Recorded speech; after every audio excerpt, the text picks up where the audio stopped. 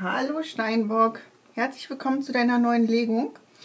Meine lieben Steinböcke, wir schauen uns die Zeitfrequenz Mitte bis Ende September an in dieser Legung. Wir werden in dieser Kollektivlegung, möchte ich nochmal betonen, weil es einige Kommentare letztens gab, wo dann doch welche sagen, ja, das ist nicht meine Legung oder passt nicht, meine Lieben. Es sind Kollektivlegungen. Was bedeutet das? Kollektivlegung bedeutet, dass nicht jeder damit in Resonanz geht, weil wir für ein Kollektiv, für eine Gruppe schauen. Wenn du sagst, du kommst nicht in dieser Gruppe vor, kannst du dir gerne Mond, Venus, Aszendenzzeichen anschauen. Oder du kannst dir auch eine persönliche Legung buchen. Ja, da machst du bitte Doppelklick auf den Titel, dann geht ein Feld auf. Und wenn du gerne möchtest, dass ich dir eine Beratung gebe, dann bitte einmal mich kontaktieren, am besten über WhatsApp. Und ähm, dann werden wir sehen, was bei dir Thema ist und wie wir die Kuh am besten vom Eis kriegen. Okay, meine Lieben, ansonsten für alle Neuen, ich danke euch ganz herzlich für eure Abos, Likes, für eure Kommentare und äh, ich freue mich einfach auch, ähm, dass ihr mich so mit Spenden unterstützt. Und seht ihr, ich fange eure Legung an und da kommt der Sonnenstrahl rein. Wenn das nicht mal ein positives Omen ist, meine Lieben. So, und positiv geht es auch gleich weiter, weil alles, was ins Stocken kommt, wo eine Blockade zu sehen ist, ist eine Herausforderung für euch, um an den Themen weiterzuarbeiten oder an diesem Thema überhaupt zu arbeiten. Okay? Meine Lieben, wir starten hier mit den Seelenbotschaften. Wir gehen weiter mit den Weisheitskarten. Ich habe hier das Licht- und Schatten-Tarot und die Kipper und die Lennemore-Karten mit am Start. Mal eine ganz interessante Kombination für eure Message hier. Und ihr seid so lieb und ähm, fühlt mal rein, inwiefern ihr damit in Resonanz geht. Okay, meine Lieben, dann starten wir los. Und die Sonne wird immer mehr. Das ist doch ein positives Zeichen hier. Für den Steinbock. Die zweite Monatshälfte bitte. Was gibt es hier für Informationen, bitte?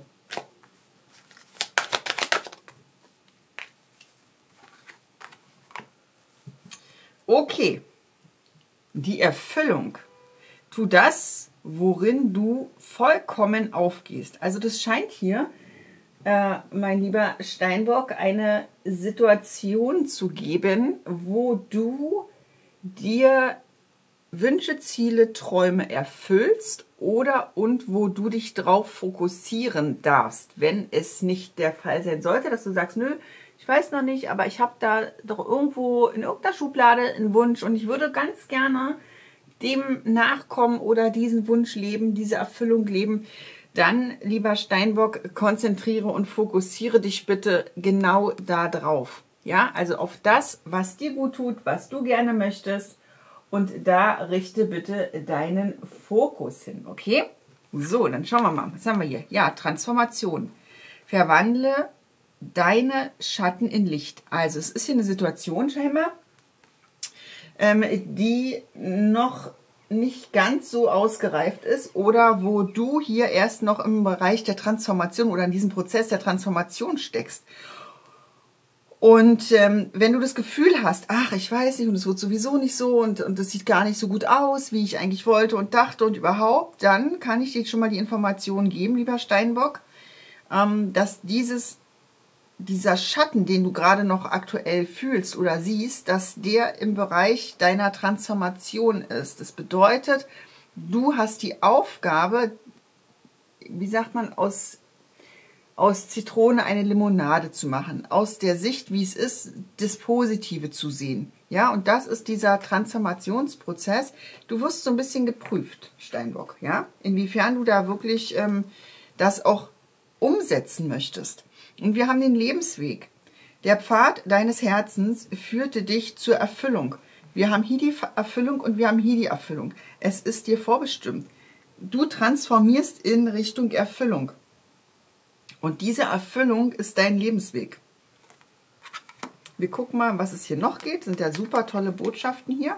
Und die Größe. Du bist großartig. Und genau das ist es, Steinbock. Ja, wie der Löwe stehst du aber auch auf deinem Berg. Und mach dich nicht klein oder lass dich in diesem Prozess der Transformation, lass dich nicht klein machen, sondern erwachse daran. Also werde erwachsener oder wachse daran. Ja, das ist eine Seelenerfahrung, die du hier hast. In, insofern, inwiefern du, wenn es nicht so erfüllend aussiehst, du aber daraus deine Erfüllung machst, indem du deine Gedanken, Glaubenssätze, äh, deine Verhaltensmuster, allgemein deine Struktur überprüfst und sie positiv hin ausrichtest. Ja, guck mal, was soll ich noch mal sagen? Der Erfolg. Verwirkliche deine Vision. Also hinsetzen, überlegen, was möchte ich, was ist meine Erfüllung und dann in die Richtung transformieren. Und dann, wenn du in deiner Größe angekommen bist, dann wirst du hier den Erfolg definitiv leben können. Okay? So. Ich packe die mal hier hin, weil ich glaube, die andere Karte ist ein bisschen größer und wir brauchen heute für dich auch ein bisschen mehr Platz, wie ich das so sehe. Um was geht es noch beim Steinbock? Okay. Ja, es ist etwas, was du angefangen hast und was in die Beendung, Beendigung kommen möchte. Ich denke mal ganz stark, dass du schon mal mm, irgendwo ein Stück weit mit diesem Thema deiner Erfüllung ähm, begonnen hast und dann aber irgendwie stagniert bist oder aufgehört hast, deine Erfüllung weiter zu leben.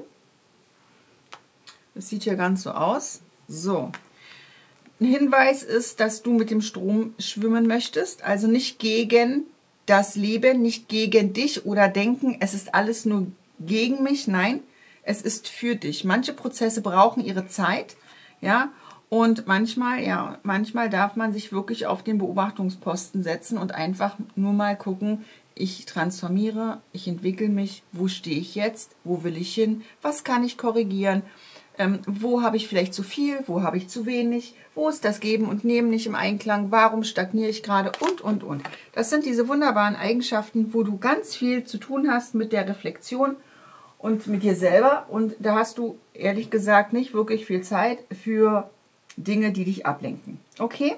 Wir starten hier mit dem Licht- und Schatten-Tarot und ich finde die Botschaften an sich schon total spannend bei dir.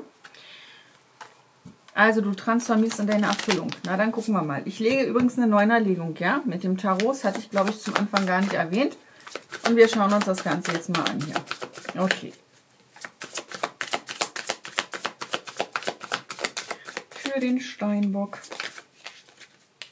Nostalgie. Du beschäftigst dich auf jeden Fall aktuell hier mit, äh, mit deiner Kindheit oder mit einem Kindheitsthema. Du reflektierst du schaust zurück und äh, du beobachtest, ähm, was fühlst du in der Situation. Ähm, du denkst auch nach. Du machst dir Gedanken und ähm, du nimmst das, was du gelernt hast, mit, um entweder eine Situation auszubauen oder auch besser zu machen.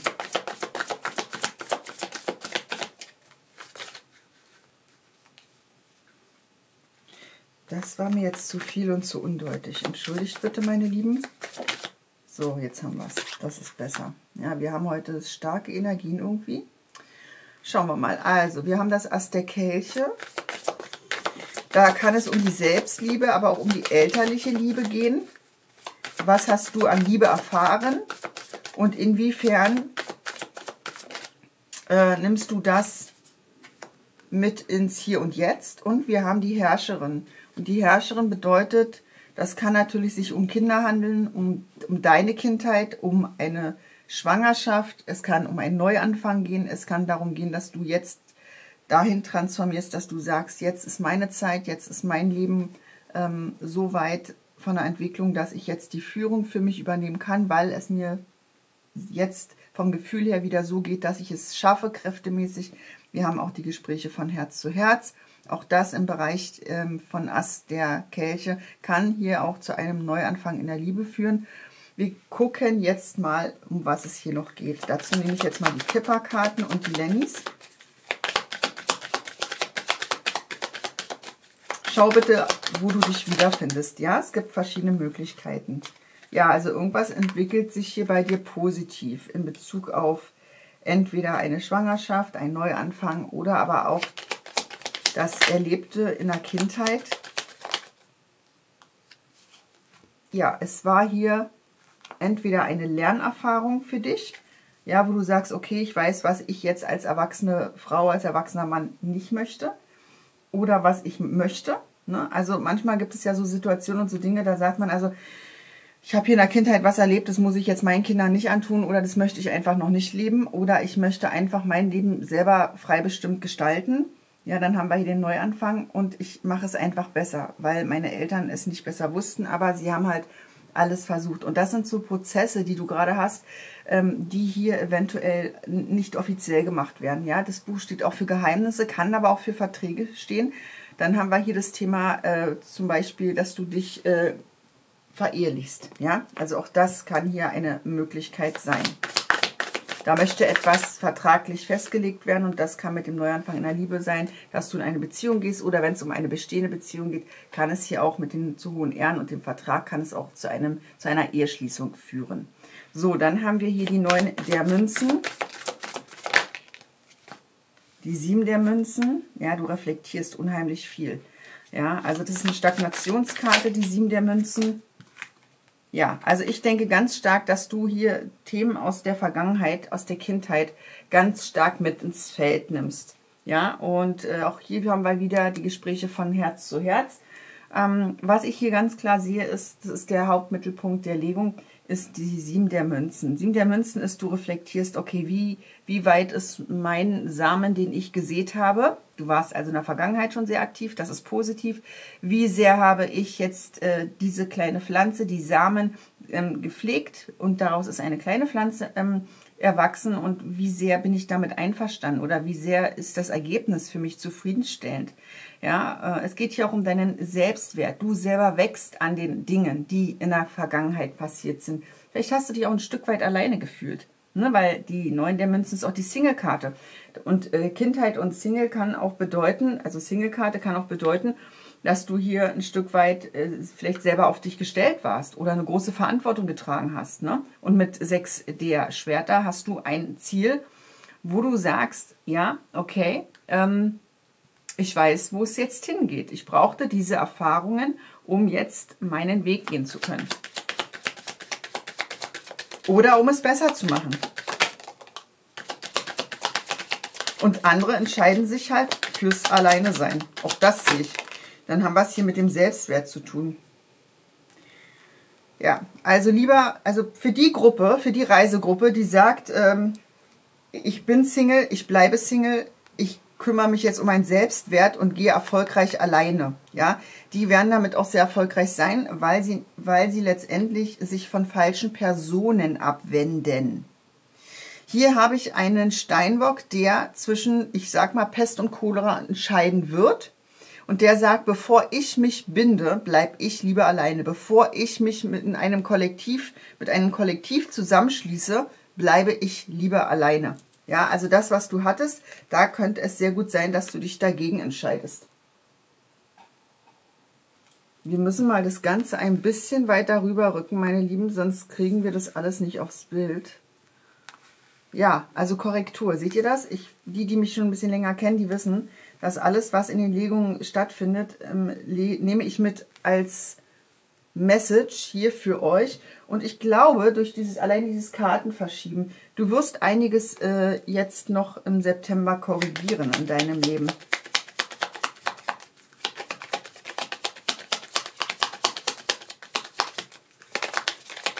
So, und falsche Personen, ja, die mussten sein, um damit du die Dinge zu wertschätzen weißt, um diesen Weg, den du mit dieser Person gegangen bist oder diese Erfahrung, die du mit dieser Person gemacht hast, jetzt in Zukunft nicht mehr tun wirst.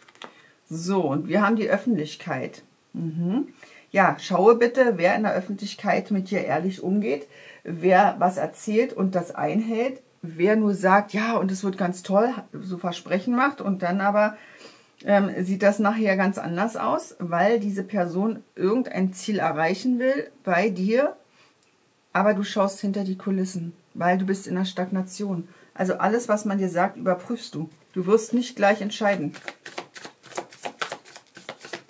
Weil du hast letztendlich mit der Herrscherin und mit den sechs der äh, Schwertern hast du ein Ziel.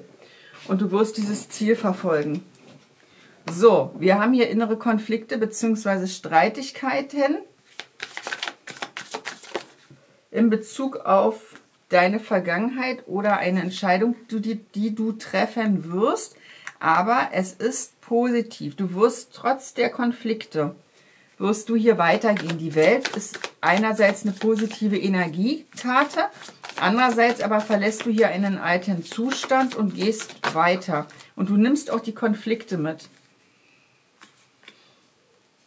Du brennst für etwas. Deswegen, du hast hier ein neues Ziel und dafür brennst du. du. Man kann dich nicht aufhalten, Steinbock. Du hast dich entschieden und du wirst das umsetzen. Und hier haben wir wieder deine Energie. Du gehst langsam in die Richtung, in die du gehen möchtest. Und das ist wieder mit den, mit den sechs der Schwertern, ist letztendlich ähm, das Boot, was sich langsam entwickelt ist das langsamste Verkehrsmittel, sage ich mal. Es braucht seine Zeit, was wieder hier zu deiner eigenen persönlichen Energie super passt. Aber hier bist du direkt zielorientiert und hier äh, könnte es sehr gut sein, dass du Schritt für Schritt wirklich deinen Weg neu ebnest. So, und dann haben wir hier auf der Unterseite des Kartendecks haben wir das Ass der Münzen und das ist ein Neuanfang mit Fundament. Das ist wirklich ein Neuanfang, wo du bodenständig etwas beginnst, was Fundament hat, was Stabilität hat, was für dich unheimlich gut ist. Gut ist, wichtig ist und was dir Halt gibt.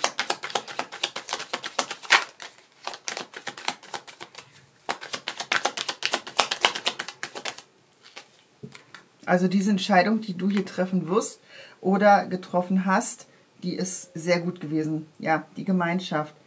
Einige von euch werden sich eine neue Gemeinschaft suchen, neue Mitmenschen suchen, ein neues Umfeld suchen. Es ist definitiv eine Veränderung, die in dein Leben kommt. Ja, und den Menschen bleibst du auch treu zur Seite. Diese Menschen stehen dir treu zur Seite und du bist aber auch selber sehr loyal und treu. Also das ist, ist wie als wenn du dir ein neues Feld suchst und ähm, mit neuen Mitmenschen, mit, mit, wo, wo du hier vielleicht auch einen Neuanfang machst.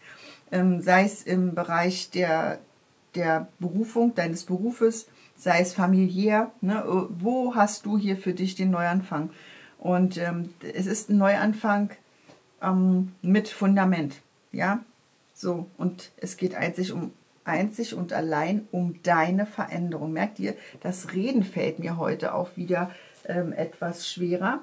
Und ähm, ich möchte hier trotz alledem nochmal eine Botschaft für euch ziehen. Und dann glaube ich, gehe ich hier nochmal mit dem Tarot rein. So, Frieden, ja.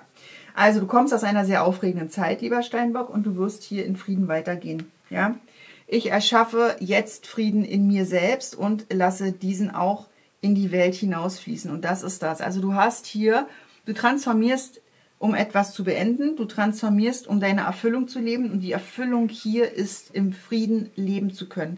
Und das wirst du hier erfolgreich umsetzen. Also diese Entscheidung, die hier getroffen worden ist oder die du hier treffen wirst, die dient dir zur Seelenheilung. Das ist für dich ganz, ganz wichtig.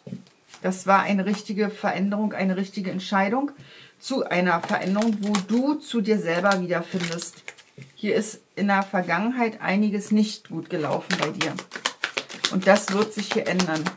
Ne? Die Erfüllung zu hohen Ehren kommen, Partnerschaft und gemeinsame Ziele. Mit wem hast du eine Partnerschaft und mit wem hast du gemeinsame Ziele? Und diese neuen Ziele und diese Partnerschaft an sich, eine Partnerschaft muss nicht immer Liebe bedeuten, kann auch eine Familienzusammenführung sein, kann auch ähm, sein, ähm, dass man, je nachdem wie die Situation in der Familie ist, Patchwork-Familie, ne, dass man dann, das, manchmal werden auch die Kinder aufgeteilt oder, oder man, man lernt jemand Neues kennen und ähm, sagt, okay, wir haben jetzt mehrere Kinder zusammen oder wie auch immer, aber man zieht hier gemeinsam wie auch immer die Konstellation bei dir jetzt ist, hier gemeinsam an einem Strang. Ja? Wenn keine Kinder da sind, dann seid ihr das beide alleine.